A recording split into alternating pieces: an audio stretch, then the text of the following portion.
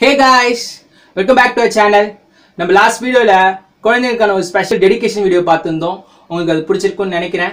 நீங்கள் யாராவது இன்னும் அந்த வீடியோ பார்க்கலனா டிஸ்கிரிப்ஷனில் லிங்க் இருக்குது மறக்காமல் பாருங்கள் அண்ட் திரும்ப ரொம்ப தேங்க்ஸ் ஃபார் சப்போர்ட்டிங் அஸ் உங்களோட சப்போர்ட் எங்களுக்கு இன்னும் தேவை அண்ட் எப்பவும் தேவை. So keep supporting us and without any delay let's go to today's video and before that நீங்கள் யாராவது இன்னும் நம்ம சேனலை சப்ஸ்கிரைப் பண்ணாமல் இருந்தால் மறக்காமல் சப்ஸ்கிரைப் பண்ணிவிடுங்க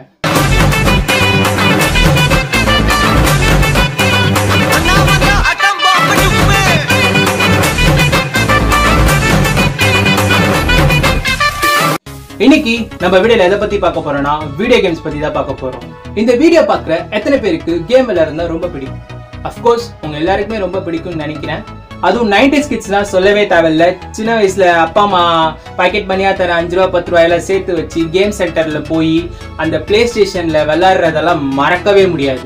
ஆனா ஒரு கேம் உண்மையிலேயே அது விளையாடுற வரதான் இன்ட்ரெஸ்டிங்கா இருக்கும். பட் அதை விளையாட ஆரம்பிச்சிட்டோம்னா நம்மளால அடுத்த லெவல் போக முடியலையே அப்படிங்கிற ஃபீல் பண்ணி கடுப்பாகி அந்த கேமை விளாட்றதே நம்ம நிறுத்திடுவோம். என்னதான் நம்ம அந்த கேமை பாதியிலே விட்டாலும் இந்த கேமோட ஃபினிஷிங் எப்படி இருக்கும் எண்டிங் எப்படி இருக்கும் நமக்கு ஒரு ஆர்வம் இருந்துகிட்டே தான் இருக்கும் எப்பவுமே. அண்ட் நம்ம அப்படி விளாண்ட ஒரு சில ஃபேமஸான கேம்ஸோட எண்டிங்ஸ் பற்றி தான் இந்த வீடியோ நம்ம பார்க்க போகிறோம்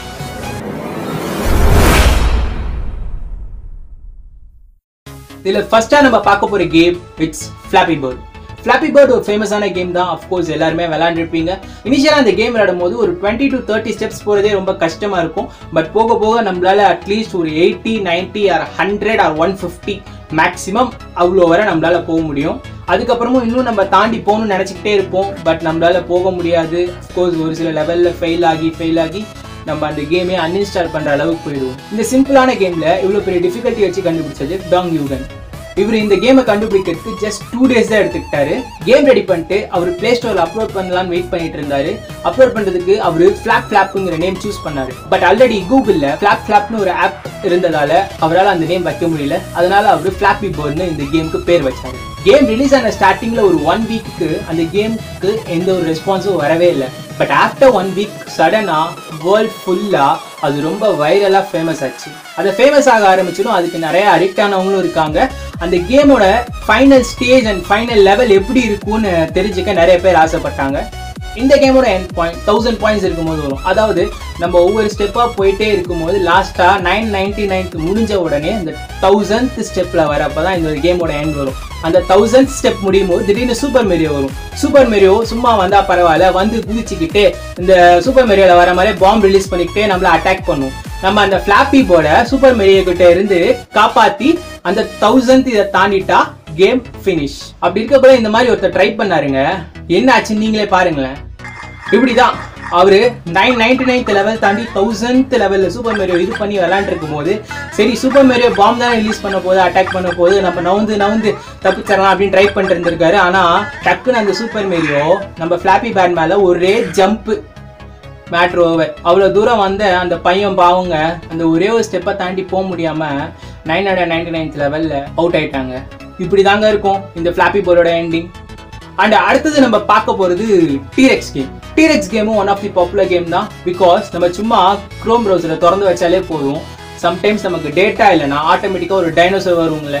அதுதாங்க டீரெக்ஸ் கேம் டேட்டா இல்லைனாலும் ப்ரௌசருக்குள்ளேயே தான் நம்ம உட்காந்துருக்கணும்னு கூகுள் ரெடி பண்ணது தாங்க இந்த டீரெக்ஸ் கேம் இந்த கேமை monthly two hundred and seventy million times play பண்ணியிருக்காங்க இந்த உலகத்தில். எல்லாரும் two hundred and seventy million times play பண்ணியிருக்காங்க. பட் இங்கே ஒருத்தன் என்ன பண்ணுறான்னு பாருங்களேன். அடா பாவீங்களா? கஷ்டப்பட்டு இவ்வளோ தூரம் விளையாண்டு அவன் ஒரு லட்சம் பாயிண்ட்டுக்கு கொண்டு வந்திருக்கான். ஒரு லட்சம் பாயிண்ட் வந்ததும் கேம் ஓவர் ஆகும்னு பார்த்தா congratulations you have passed level ஒன்னு காட்டுதுங்க. சரி இந்த கேம் எப்பதான் முடியும் அப்படின்னு எல்லாத்துக்கும் ஒரு ஆர்வம் இருந்துட்டே இருந்துச்சுங்க. இதை பத்தி குரோமோட டெவலப்பர் கிட்ட கேட்டப்ப அவர் என்ன திரும்ப சொன்னாரு? இந்த கேமோட எண்ட் எப்போ வரும்னா நீங்க இந்த கேமை தொடர்ந்து 17 மில்லியன் இயர்ஸ் விளையாண்டுக்கிட்டே இருந்தாதான் இந்த கேமோட எண்டு வரும்னு சொன்னாங்க. அன்னைக்கு விட்டவன் தாங்க அந்த கேமை இன்னும் வரை அந்த கேம் விளையாண்டதே இல்லைங்க சத்தியமா. என்னைக்காவது ஒரு நாளாவது அந்த கேமை எப்படியாவது முடிச்சிடலாம் அப்படின்னு நினைச்சேன். பட் அது கனவுல கூட நடக்காதுன்னு குரோமோட டெவலப்பர் சொல்லிட்டார். அடுத்த நம்ம பார்க்க போறது டக் ஹண்ட் டக் ஹண்ட் பத்தி தான் இந்த கேம் நம்ம பார்க்க போறோம். இந்த கேம் ஒரு ஃபேமஸான கேம் இந்த கேம்ல ஒரு நாய்க்குட்டி ரொம்ப பசியால அந்த ஒரு ரோட்டோரமா போய்கிட்டே இருக்கும். அப்படி அந்த ரோட்டோரமா போயிட்டு இருக்கும்போது பக்கத்துல நிறைய ஒரு புல்லு மாதிரி இருக்கும். அந்த புல்லுக்கு அந்தாண்ட ஏதாவது அதுக்கு சாப்பிட கிடைக்குமா அந்த சைடு போய் பார்க்க போகும். அங்க போய் பார்த்தா நிறைய வாத்து இருக்கும். இந்த வாத்தெல்லாம் அது பிடிக்க ட்ரை பண்ணும்போது அந்த வாத்து ஒவ்வொன்றா மேலே பறக்கும். அப்படி மேலே போற வாத்தை நம்ம ஒரு துப்பாக்கியால சுடணுங்க. அதான் இந்த கேம் இன்கேஸ் நம்ம அந்த வாத்தை சுட்டுட்டோம்னா அந்த நாய் அது ரெண்டு கையிலையும் வாத்தை காமிச்சு தேங்க்ஸுங்கிற மாதிரி சொல்லும். பட் இதுவே நம்ம அந்த வார்த்தை சுடலன்னு வச்சுக்கோங்களேன். அந்த நாய்க்குட்டி இது கூடவா சுட தெரில நீ எல்லாம் ஒரு ஆளா? அப்படின்னு கேவலமா சிரிக்கும். இது விளையாட கொஞ்சம் ஜாலியா இருந்தாலும் இதோட எண்டிங் எப்படி தெரியுமா இருக்கும்? இதோட எண்டிங் அதாவது நைன்டி நைன்த் லெவலுக்கு அடுத்தது ஹண்ட்ரட் லெவல் போகும்போது இதோட எண்டிங் ஸ்டார்ட் ஆகும். ஸோ அந்த டைம்ல நார்மலா கீழே இருந்து வாத்து பறக்காம மேல இருந்து யாரோ வாத்தை அப்படியே மொத்தமா கொட்டின மாதிரி நிறைய வாத்து வந்து கொட்டிக்கிட்டே இருக்குங்க. அந்த எல்லா வாத்தையும் நம்ம ஒண்ணு விடாம சுட்டுங்க. அத்தனை வாத்து வந்து நம்ம எங்க சுடுறதுன்னு அங்கேயும் இங்கேயும் அவஸ்தைப்பட்டு கஷ்டப்பட்டு சுட்டுட்டு இருப்போங்க.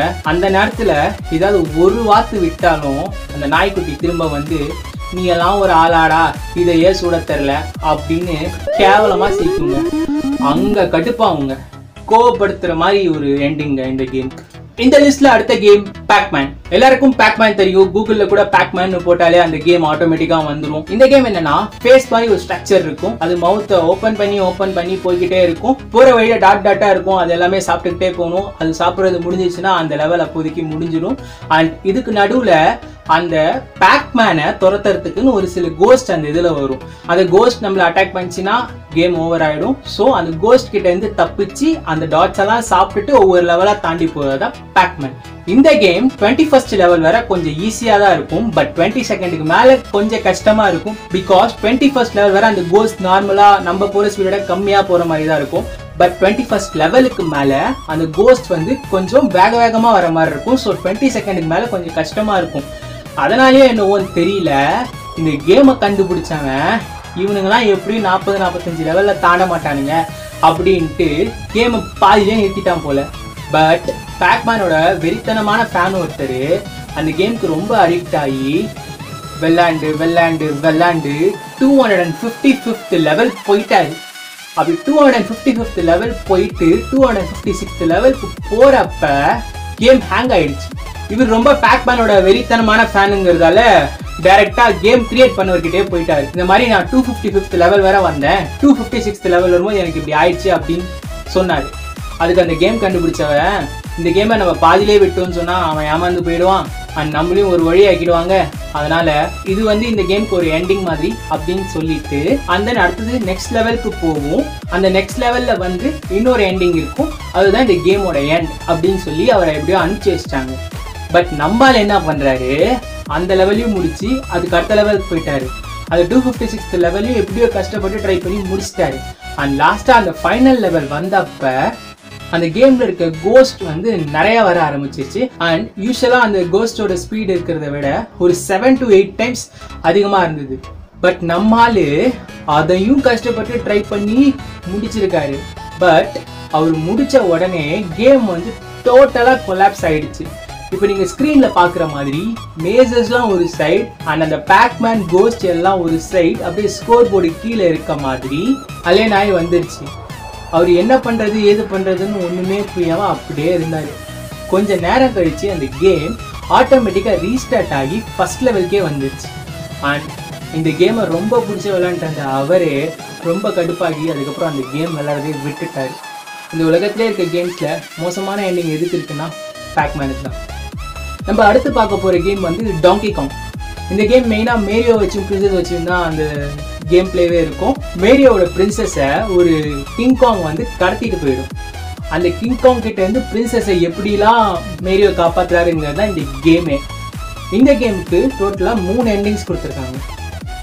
ஃபர்ஸ்ட் எண்டிங் இப்போ நீங்கள் ஸ்க்ரீனில் பார்க்குற மாதிரி மேரியோ கஷ்டப்பட்டு கீழே இருந்து மேலே வர போயிட்டு அந்த கிங்காங்கை எப்படியாவது கீழே தள்ளி விட்டுட்டு பிரின்சஸ் கூட சேர்ந்துருவாரு. இது வந்து நம்ம நார்மலாக தமிழ் சினிமாவில் வர கிளைமேக்ஸ் ஒரு ஹீரோவும் ஹீரோயினும் வில்லனை போட்டு தள்ளிட்டு ரெண்டு பேரும் சேர்ந்துருவாங்க.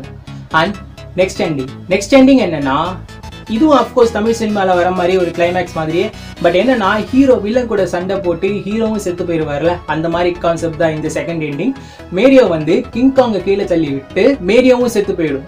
இதுதான் வந்து அந்த கேமோட second ending and last and final ending ரொம்ப கொடூரமாக இருக்கும். அண்ட் ரொம்ப கேவலமாக இருக்கும். கஷ்டப்பட்டு மேரியோ கீழே இருந்து மேலே வர போயிட்டு அங்கே போயிட்டு பிரின்சஸை காப்பாற்றுவாருன்னு பார்த்தா பிரின்சஸை கீழே தள்ளி விட்டுட்டு அந்த கிங்காங் கூட சேர்ந்துருவாரு மேரியோ. இதுதான் வந்து இந்த கேமோட ஃபைனல் எண்டிங் அண்ட் நெக்ஸ்ட் நம்ம பார்க்க போகிற game space impact space impact எல்லாருக்கும் தெரிஞ்ச கேம் அண்ட் மெயினாக நைன்டி கிட்ஸ்க்கு ரொம்ப ரொம்ப தெரிஞ்ச கேம் அண்ட் ரொம்ப ரொம்ப பிடிச்ச கேம் பிகாஸ் நம்ம யூஸ் பண்ண ஃபோனில் சாரி சாரி நம்ம அப்பா அம்மா யூஸ் பண்ண Nokia double one double zero ஃபோனில் இருக்கிறது மொத்தம் ரெண்டே கேம் தான். ஒன்று ஸ்னேக் இன்னொன்று ஸ்பேஸ் இம்பேக்ட் அந்த கேம்ஸ்லேயும் மூணாவதாக ஒரு ஆப்ஷன் இருக்கும். செட்டிங்ஸ் அந்த செட்டிங்ஸை கூட செட் பண்ணுற கேம்னு நினச்சி உள்ளே போய் பார்த்தவங்க நிறைய பேர் இருக்காங்க. பிகாஸ் நைன்டி கிட்ஸில் ரொம்ப இன்னோசன்ட் சரி ஓகே கேம்குள்ளே போகலாம் இந்த ஸ்பேஸ் இம்பேக்ட் கேம் வந்து இதுக்கு முன்னாடி பார்த்த இந்த கேம் மாதிரி ஒரு டிஃப்ரெண்ட்டான எண்டிங்கோ இல்லை பண்ணியான எண்டிங்கோ தான் இல்லை. யூஸ்வலாக அதில் ஒவ்வொரு லெவல் முடிச்ச பிறகு எப்படி எண்டிங் வருமோ அதே மாதிரி தான் எண்டிங் இருக்கும். பட் என்னன்னா யூஸ்வலாக ஃபர்ஸ்ட் லெவல்லேருந்து நம்ம போயிட்டே இருக்கும்போது ஆஹ், ஒரு ஸ்பேஸ் ஷிப் மாதிரி போகும். ஆப்போசிட்டில் எனிமீஸ் மாதிரி வந்துக்கிட்டே இருப்பாங்க. அந்த பூச்சி மாதிரிலாம் வரும். அதெல்லாம் சுட்டு தள்ளிக்கிட்டு போய்கிட்டே இருக்கணும். அண்ட் லாஸ்ட்டாக ஒரு ஏலியன் மாதிரி ஒன்று வரும். அண்ட் ரொம்ப பெருசாக இருக்கும். அதை வந்து ஒரு டூ டூ த்ரீ மினிட்ஸ் நம்ம சுட்டுக்கிட்டே இருந்தால் தான் வந்து நம்ம அடுத்த லெவலுக்கு போவோம் அண்ட் இதே மாதிரி it goes on goes on goes on இதோட ஃபைனல் லெவல் எப்படி இருக்கும்னா இப்போ நீங்கள் ஸ்க்ரீனில் பார்க்குற மாதிரி தான் இருக்கும். சேம் அதே மாதிரியே கொஞ்சம் போய்கிட்டே இருக்கும். பட் கடைசியில் அதே மாதிரி ஒரு ஏலியன் வரும். பட் இதுக்கு முன்னாடி வந்த லெவல்ஸ்லாம் விட இந்த ஏலியன் கொஞ்சம் பெருசாகவே இருக்கும். அண்ட் அதை வந்து நம்ம அட்லீஸ்ட் ஒரு four to five minutes or six minutes தொடர்ந்து சுட்டுக்கிட்டே இருக்கணும். அது அட்லாஸ்ட் ஒரு பாயிண்டில் அந்த ஏலியனும் செத்துருங்க. அது செத்துட்ட பிறகு நம்ம ஸ்பேஸ் ஷிப் ஆட்டோமேட்டிக்காக இன்னொரு சைட் போயிடும். அது முடிச்சதும் அடுத்த லெவல் வருமான்னு பார்ப்போம். பட் இல்லை கேம் ஓவர்னு வந்துடும் and that's the end of the Space Impact game கேமோட எண்ட் மட்டும் இல்லைங்க. வீடியோவோட எண்டும் கூட இந்த வீடியோ உங்களுக்கு பிடிச்சிருக்கும்னு நினைக்கிறேன். பிடிச்சிருந்தா லைக் பண்ணுங்க கமெண்ட் பண்ணுங்க ஷேர் பண்ணுங்க. அண்ட் மறக்காம இஞ்சி பூண்டு பேஸ்ட் சேனலுக்கு சப்ஸ்கிரைப் பண்ணுங்க. See in next video and till then tata bye bye from Shankar